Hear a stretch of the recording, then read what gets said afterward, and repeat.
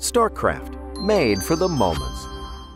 In this video, we will show you how to assemble your orchard canopy crib, as well as how to convert it into a playhouse. The crib is available in white, while the tent is available in three different finishes, white, driftwood, and pebble gray. Before you begin the assembly, please make sure to read the assembly manual thoroughly, as it contains important safety warnings and assembly tips. Please note that there are some steps in the assembly where you might require two people to help with the assembly process. If you have any questions about assembling your product, you might contact our customer care team by visiting us online or giving us a call at 1-877-274-0277. Any mattress used in this crib shall be at least 27 and 1 quarter inches by 51 and 5 eighths inches with a thickness not exceeding 6 inches and the minimum mattress thickness of 4 inches.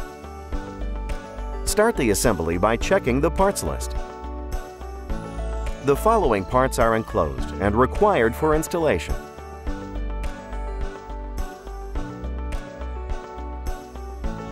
Make sure to identify all parts, hardware, and tools. Step 1. Installing the right and left crib side. For this step, you will require the following parts. Begin step 1 by placing the left front post, part number 7, and the left back post, part number 5, on each side of part 1. Push both posts towards part 1. Butt up and match all hardware holes as shown. Next, secure both posts using 4 Part J barrel nuts and 4 Part A bolts. Starting with the top corner hole, Insert one Part J barrel nut into the bottom top bar of Part 1 and push one Part A bolt through the post and into the barrel nut. Tighten the bolt using the provided Part H Allen key. Proceed by repeating these steps on the bottom holes and securing the bottom hardware.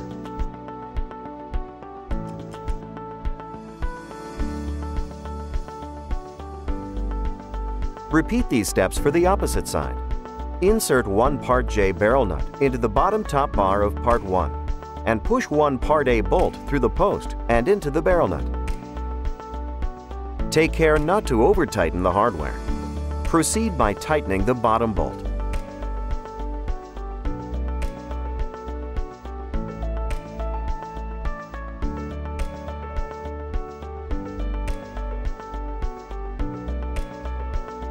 Finally, Repeat these same steps on the opposite side using the right crib side, part number 2, the right front post, part number 8, and the right back post, part number 6. After both the left and right crib side are assembled, rotate the left crib side assembly so that the bottom barrel nut holes located on the bottom bar are facing the right crib side assembly. This makes it so that when both the left and right crib side assemblies are attached to the crib, the bottom holes will be facing each other in the interior side of the crib. Step 1 is now complete. Step 2. Installing the back rail.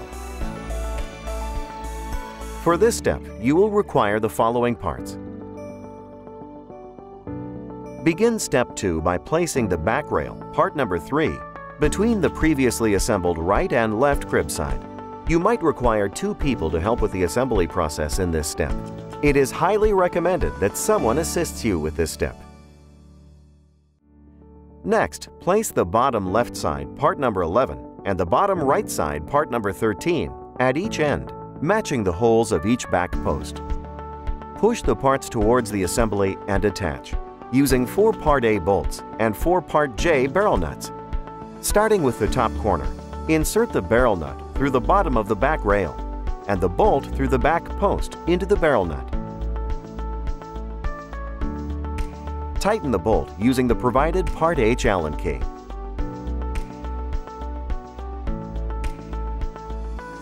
Continue by tightening the bottom bolt.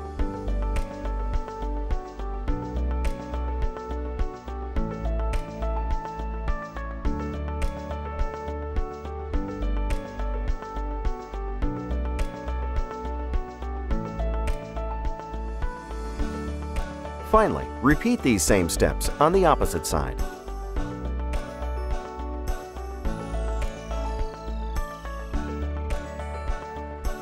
Take care not to over-tighten the hardware.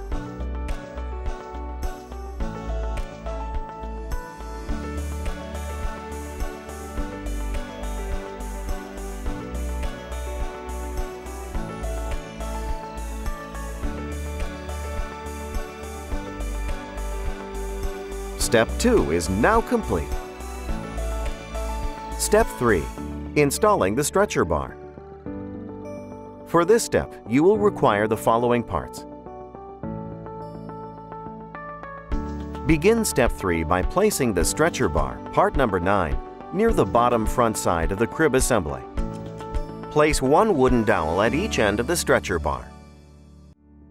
Insert the wooden dowels into the top holes at each end.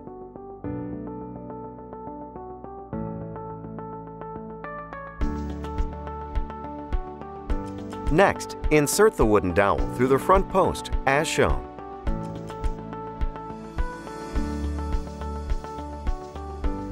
Add a barrel nut, part J, into the bottom hole of the stretcher bar and secure the barrel nut using one part A bolt. Insert the bolt through the bottom left sidebar and into the barrel nut. Tighten the bolt using the provided part H Allen key. Finally, repeat these same steps on the opposite side.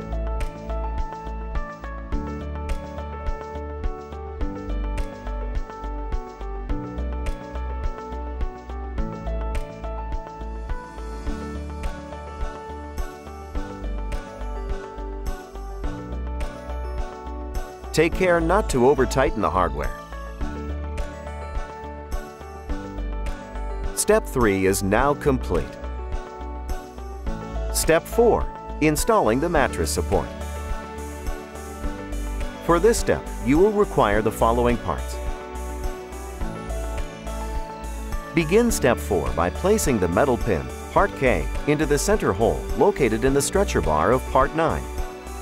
Simply slide the pin into the hole.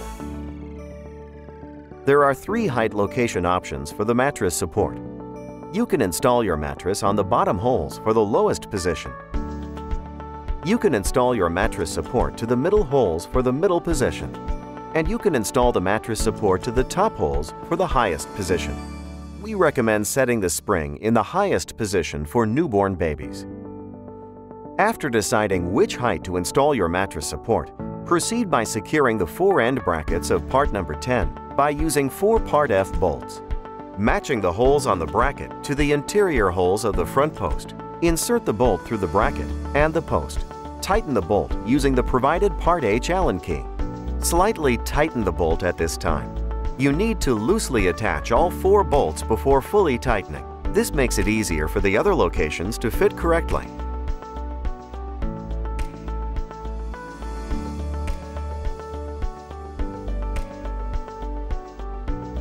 Repeat these steps for each bracket of the mattress support and slightly tighten each bolt.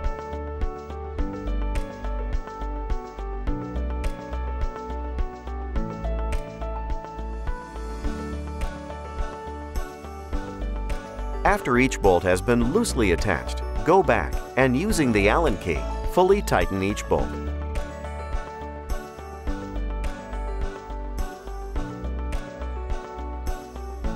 Take care not to over-tighten the bolts.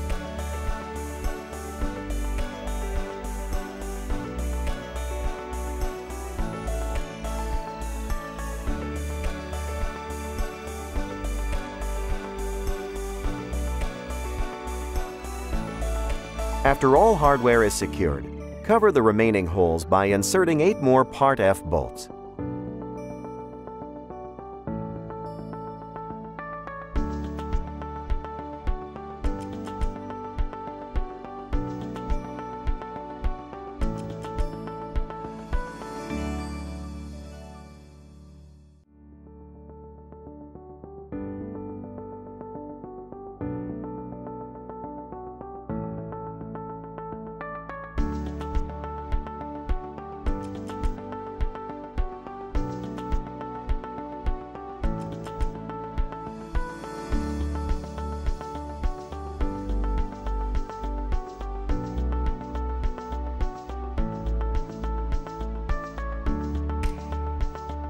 Finally, on the bottom of each side, insert four Part F bolts as shown.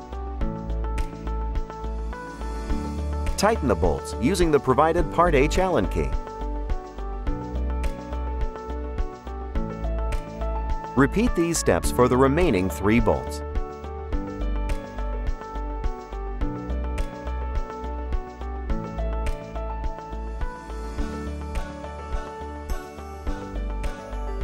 Take care not to over-tighten the bolts.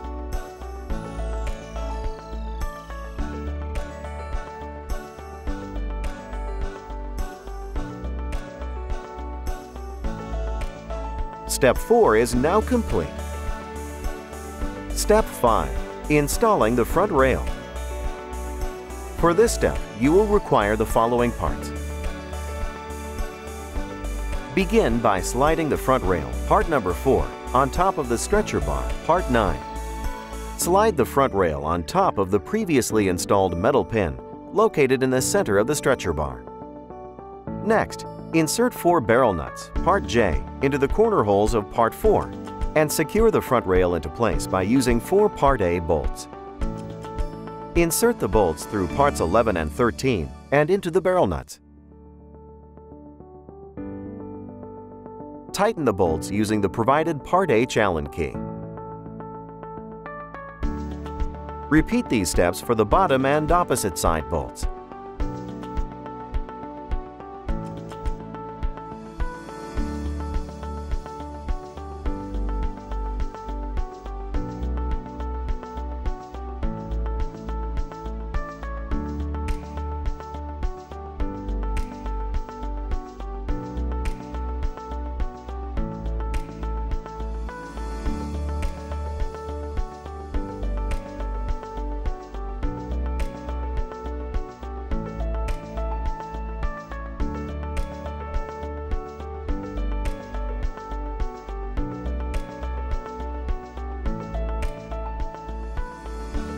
Step 5 is now complete.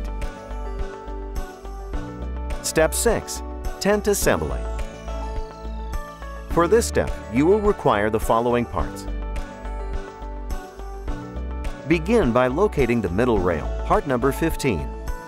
At one end of the rail, insert a wedge block, part number 17. Simply slide it into the rail. Next, insert the top left side part number 12 into the wedge block. Once part 12 is in place, secure it using one part B bolt. Tighten the bolts using the provided part H Allen key.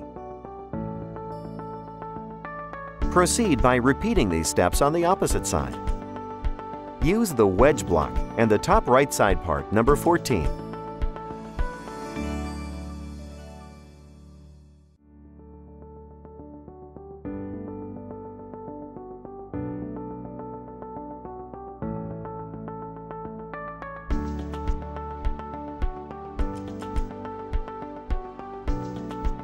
Next, install three part M bolts on top of the middle rail as shown.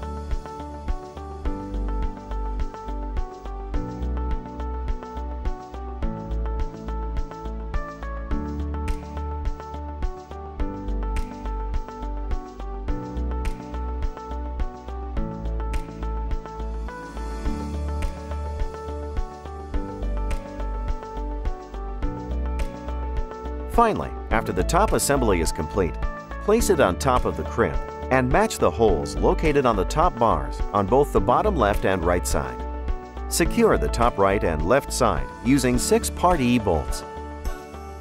Push three bolts through both Part 11 and Part 12. Tighten the bolts using the provided Part H Allen key.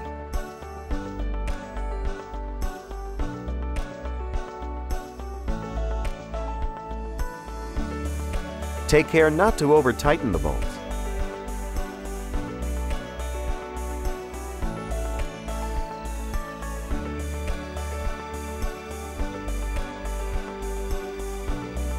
Repeat these steps for the opposite side.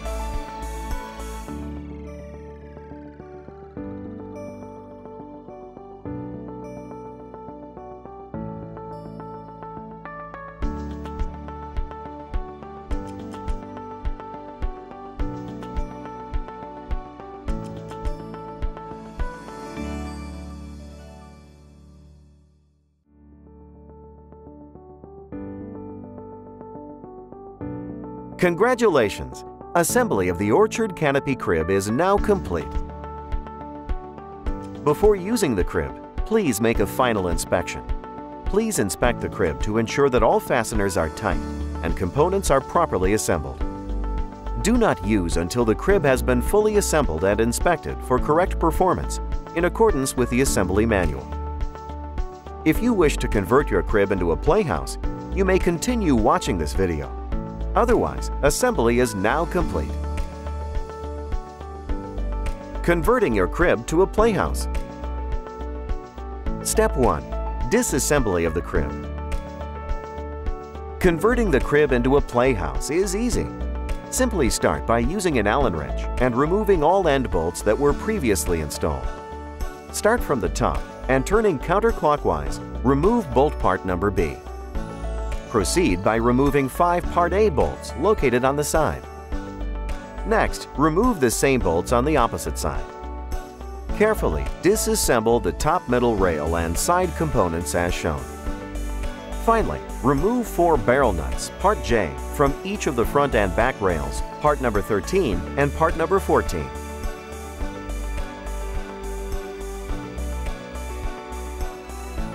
After the hardware has been removed, pull off the front and back rails and safely place them on the side.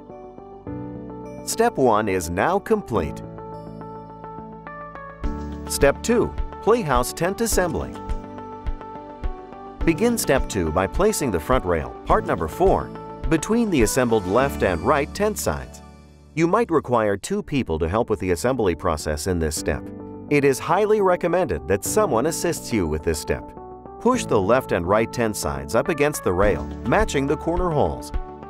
Next, attach the front rail using 4 part J barrel nuts and 4 part C bolts. First, insert a barrel nut, part J, into the hole located in the bottom of the rail, and a part C bolt through the side post and into the barrel nut. Tighten the bolts using the provided part H Allen key. Repeat these steps for the remaining bolts on both sides of the playhouse tent.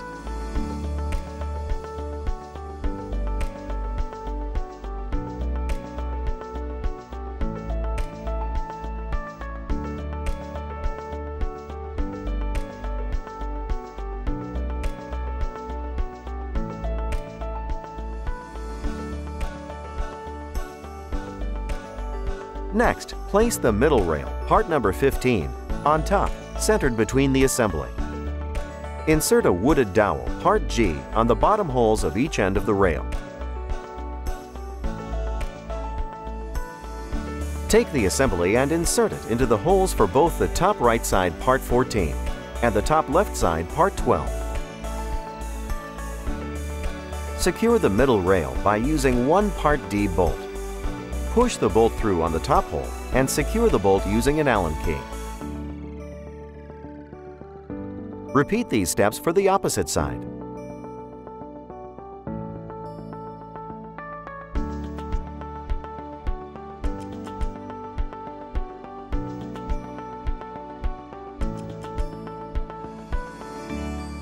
Finally, Add the conversion rail, part number 16, at the bottom of the assembly, with the long face of the rail parallel to the ground. Insert one wooded dowel on the end of each interior hole of the rail.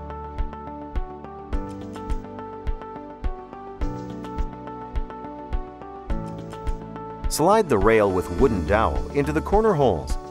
Grab a barrel nut and insert it into a hole located on the bottom of the conversion rail. Add a Part C bolt into the barrel nut from the outside and secure the bolt using an Allen key.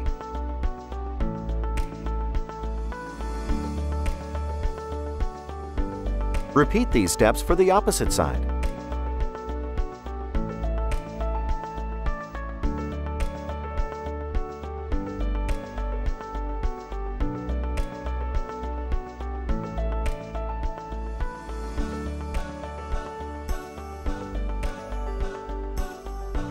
Congratulations! Assembly of the Playhouse is now complete.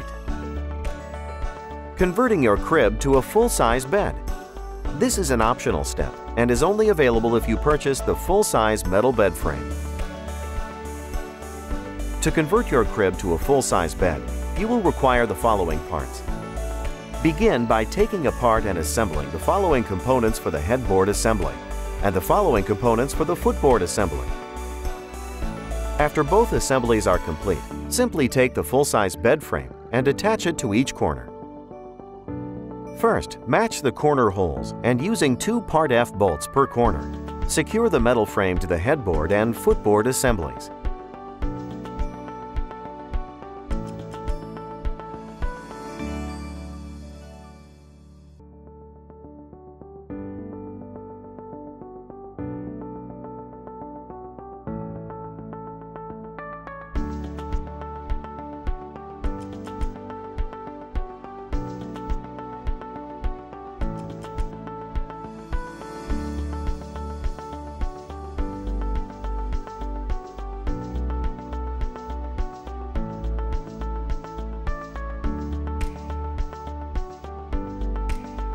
Congratulations! Converting your crib to a full-size bed is now complete.